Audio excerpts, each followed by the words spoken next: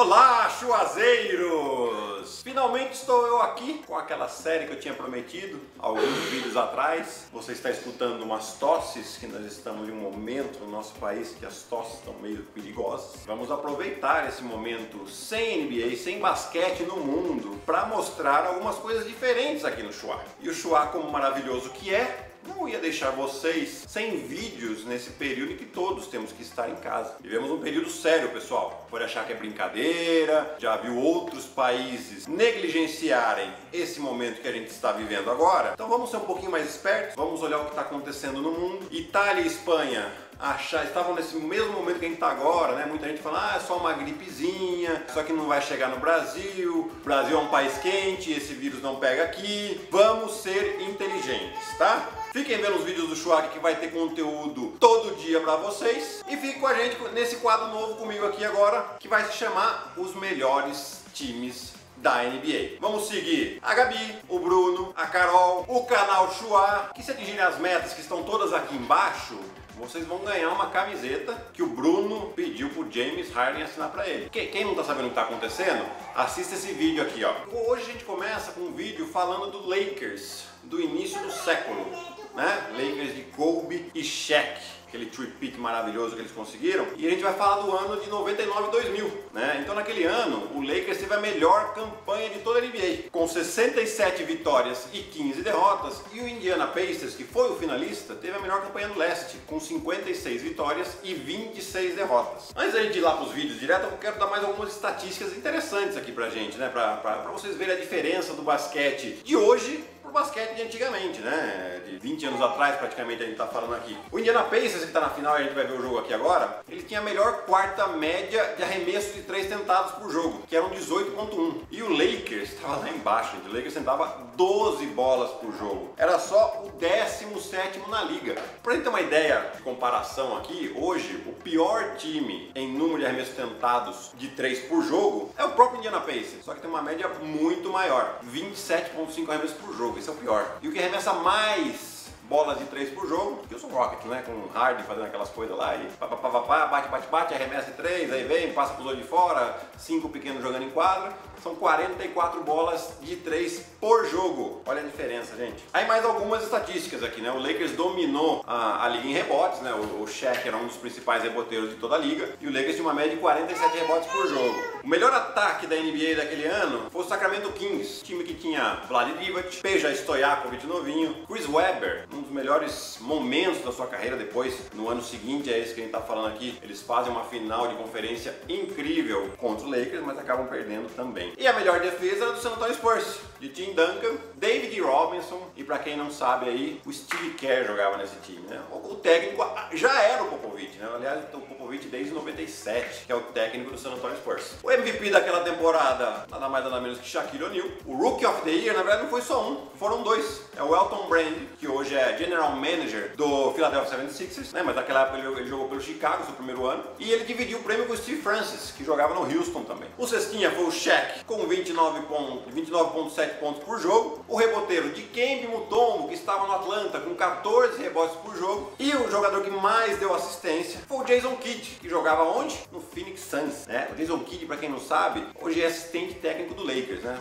Houve o rumor que ele poderia ser o técnico, mas ele tinha algumas coisas que o pessoal do Lakers não gostava, então colocaram ele como assistente do Frank Vogel, que está fazendo uma ótima temporada. E desse time campeão dos Lakers, os destaques eram, lógico, o Shaq que foi MVP, mas aí você tinha um Kobe Bryant com 22 pontos, 6 rebotes e 5 assistências por jogo, e um chutador que né, fez muito sucesso no Charlotte Hornets nos anos 90, mas ele que foi se consagrar no Lakers, que foi onde ele foi campeão, né, que era o Glenn Rice, com 15 pontos por jogo. E agora nós vamos começar a mostrar alguns lances, né? Na verdade eu separei três lances do ataque do Lakers aqui, onde eles têm o famoso triângulo ofensivo do Phil Jackson, né? Então eu quero mostrar como é que eles faziam um pouco esse, esse triângulo? Como eles exploravam ah, as defesas, né? Em relação a esse triângulo, atacavam muito bem, seja no poste baixo com Kobe, com Shaq principalmente, né? e como eles usavam os ótimos arremessadores que eles tinham em quadra junto com esses dois cracassos de bola. Então vamos lá no, no primeiro lance aqui já, a gente vai ver como eles já conseguem fazer o triângulo rapidamente aqui, né? Nessa primeira situação aqui, eles vão colocar o Shaq e o Kobe do lado contrário, deixa eu ver aqui, o Shaq e o Kobe, né? E do lado de cá, a gente vai ver como eles formam um triângulo com os outros três jogadores do lado fraco do ataque. Para quê?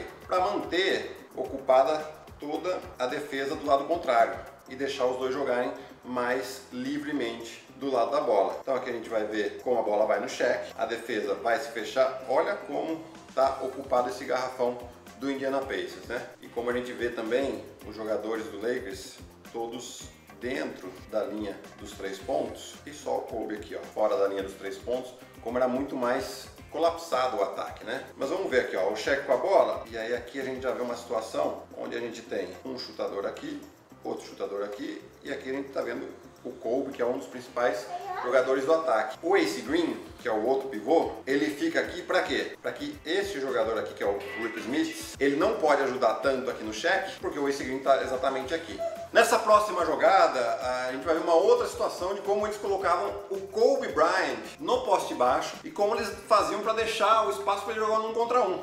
Ainda mais na situação que a gente vai ver aqui. Olha só, ele vai virar o lado aqui, e aqui a gente consegue parar. A, a, gente já vai ver nessa situação o triângulo ofensivo de novo. E aqui desse lado, os dois jogadores para ocupar o espaço. Mas a ideia aqui, ó, a bola vai chegar no Kobe e a gente pode ver aqui, um e dois, como eles vão embora. Aqui a gente tem o, o, o Ron Harper, que é um bom chutador, e aqui o Glenn Rice, que é, que é o principal chutador da equipe. Nós vamos ver o Shaq aqui, que não deixa que o Sam Perkins libere ele, o único que pode ajudar um pouco é o Rick Smith, que está defendendo o Ace Green, que não é um grandíssimo chutador, né? Mas aí a gente vai ver como é que o, o Ace Green Aqui ó, tá num contra um aqui o, o Kobe. E quem que marca o Kobe? O Mark Jackson, um cara bem mais baixo que ele. Então ele tem uma situação de vantagem clara. Como é que o Lakers faz para ocupar as ajudas? O Green Rice continua indo embora, assim como o Ron Harper, tá certo? E aqui a gente vai ver o Ace Green, para manter a ajuda dele ocupada, né? Ele vem até aqui para fazer um bloqueio no homem do cheque. E aí os dois homens estão ocupados, deixando completamente o Kobe Bryant para fazer esse arremesso por cima do Mark Jackson. Um arremesso até que parece fácil. E o terceiro e último lance, a gente vai ver como é que as ajudas no cheque abriam espaço para os adversários, né? Então a gente começa aqui com o lance a bola vai chegar no cheque, como aqui a gente já começa mostrando para vocês o triângulo de novo, e aqui do lado contrário, o, o Derek Fisher até poderia vir um pouco mais para cá para abrir mais esse espaço, tá certo? Mas eh, tudo bem, tem um aqui, e o Rick Fox que é o outro chutador, aqui do lado contrário, né? forçando com que as ajudas, principalmente do, do Chris Mullin que está aqui no Ricky Fox, que seja uh, que ele fique mais próximo do chutador para que não, não, não, tenha a ajuda tanto assim, né? Então, mas o que, que a gente vai ver aqui agora? Conforme a bola sai, a gente vai ver aqui está o Travis Best, tive o prazer de jogar com ele na Itália também, jogadorzaço. A partir do momento que ele vê a bola voando, ele vai chegar na ajuda aqui no cheque. E o que, que, vai acontecer aqui agora, né? Olha esse espaço que vai ter o Rick Fox aqui, o, o Derek Fisher aqui, e vai ter que obrigar o Chris Mullin, que tá nesse cara aqui, que, ele, que é o Rick Fox, vai ter que abandonar ele, para quê? Para ficar entre esses dois jogadores. Soltando mais um pouco. Olha que situação aqui agora, ó. Nós temos o Chris Mullin contra um e dois arremessadores. O que vai acontecer? Vai numa finta e aí colocou a defesa em xeque acabam vindo um, dois jogadores para sair no Rick Fox, né? O Rick Fox faz o quê? Devolve pro Derek Fisher completamente livre.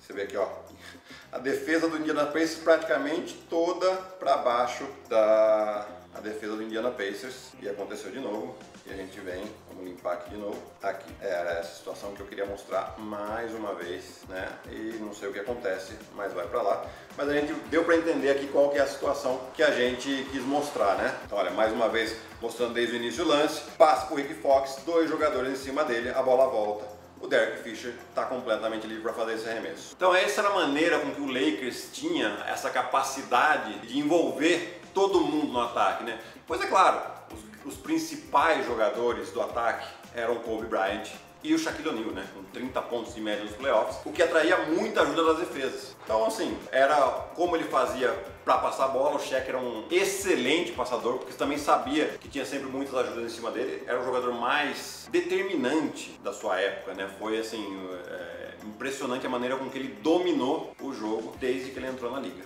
Né? E depois com um técnico tão inteligente como o Phil Jackson, ele pôde desenvolver ainda mais o seu jogo e ser tricampeão com o Lakers em 2000, 2001, 2002. Bom pessoal, é isso. Espero que tenham gostado desse vídeo. Deixa o seu like aqui, comenta, fala pra mim que tipo de vídeo você gostaria de ver, se, se você gostou desse vídeo ou não, ou qual time também que você gostaria de ver eu fazendo esse tipo de análise aqui pra vocês. Tá certo? Até o próximo vídeo. Tchau!